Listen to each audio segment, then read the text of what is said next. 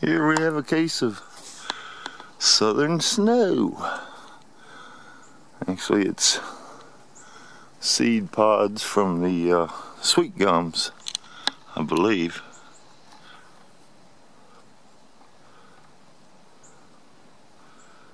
A typical southern phenomenon.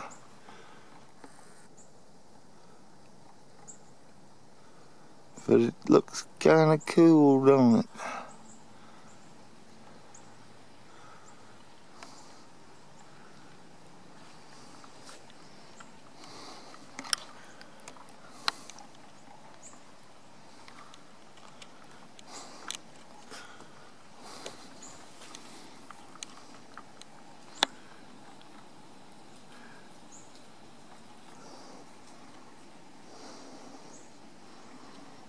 All it takes is just a little bitty breeze.